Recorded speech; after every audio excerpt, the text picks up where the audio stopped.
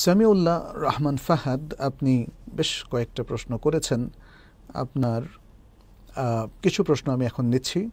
কেমতের দিন বলা হবে, যেভাবে দুনিয়ায় কোরআন পাঠ করতে, সেভাবে পাঠ করো। তারপর যেখানে সে আটকে যাবে, সেটাই হবে তার স্থান। এখন যারা পুরো কোরআন হেফজ করেনি, তারা কি জান্নাতের সর্বস্তরে যেতে পারবে? জান্নাতের সর্বস্তরে তো সবাই যেতে পারবে না।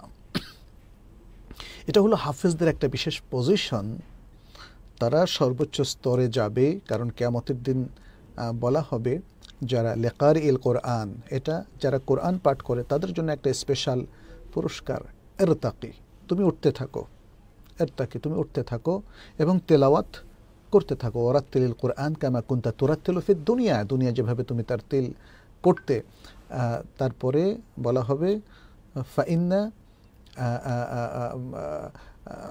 যেটা যেটা তুমি শেষ কেরাত পড়লে, আখের মা তাকরা ফাইন্না মঞ্জিলা থাকা এন্দা আখিরে আয়াতিন তাকরা ওহা তোমার মঞ্জেলা হলো, তোমার পজিশন হলো সেই জায়গায়, যে জায়গা তুমি শেষ কেরাত গিয়ে পড়বে এরপর তোমার পড়ার সাধ্য নাই, অতএব তোমার ওটাই হলো জায়গা।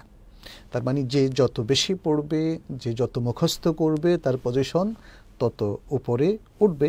এটা তো হাদিস, এই হাদিসটা সাহি।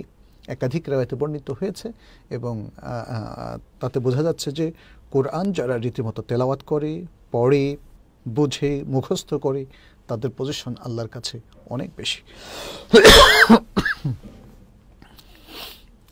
আর জান্নাতের সর্বোচ্চ স্তরে যাওয়ার এটা একটা পদ্ধতি, এছাড়া আর পদ্ধতি থাকতে পারে। যারা বিনা হিসাবে ভেসতে যাবেন, হয়তো দেখা গেল যে তিনি ইসলাম গ্রহণ করেছেন যেমন ওসাইরিমের ক্ষেত্রে ঘটেছিল যে তেমন আমল করার সুযোগ পাননি, কিন্তু জেহাদে অংশগ্রহণ করে তিনি সাথে সাথে শহীদ হয়ে গেলেন।